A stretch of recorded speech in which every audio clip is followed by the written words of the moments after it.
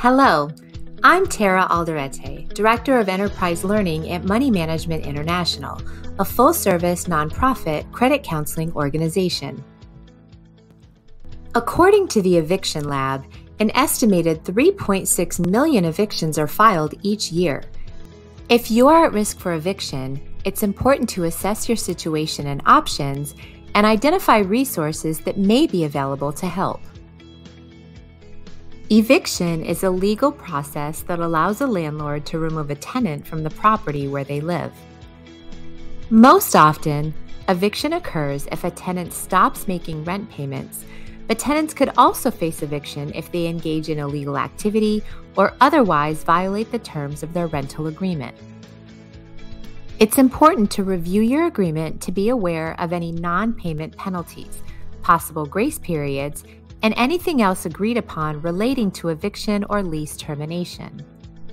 The eviction process can vary by state, but generally, landlords must provide tenants with an eviction notice letting them know how much time they have to make payment or move out before an eviction lawsuit is filed.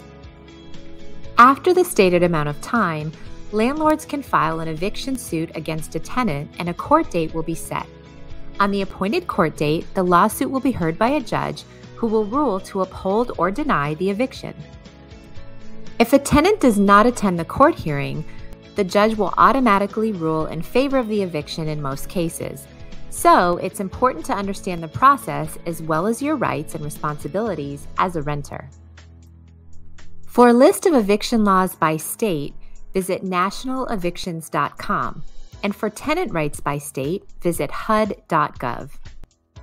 If you're having trouble making payments or facing possible eviction, communicate with your landlord or housing provider as soon as possible. You may be eligible for assistance in the form of reduced or suspended payments, late payment plans, or other options. Keep accurate records and communicate in writing when possible. And if you agree on a payment arrangement, be sure to get the terms in writing upfront. Pay as much of your regular payment as possible, keeping in mind that unpaid rent or mortgage may have to be paid when assistance programs expire or repaid on some payment plans. So, review and adjust your monthly spending plan to identify sources of additional income that you can put toward your payments to help you catch up. You may be able to fight an eviction order, so stay in your home or apartment if possible, and attend your eviction hearing prepared with relevant information and documentation, including any payments you've made.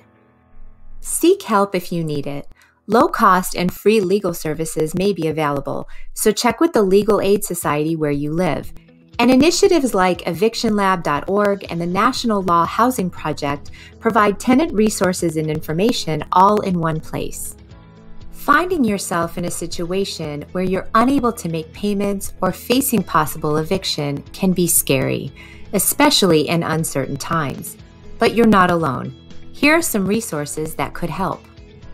Visit nationalevictions.com to learn tenant eviction rights, the eviction process in your state, and to find resources in each state.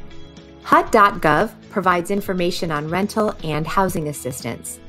ConsumerFinance.gov/housing, NHLP.org, and EvictionLab.org offer help and resources for renters and homeowners facing possible eviction. And to connect with a certified housing counselor, contact us at moneymanagement.org. Thank you for joining me to learn more about this important topic. For additional financial wellness topics or to schedule a counseling session, Give us a call at 866 889 9347 or visit us online today.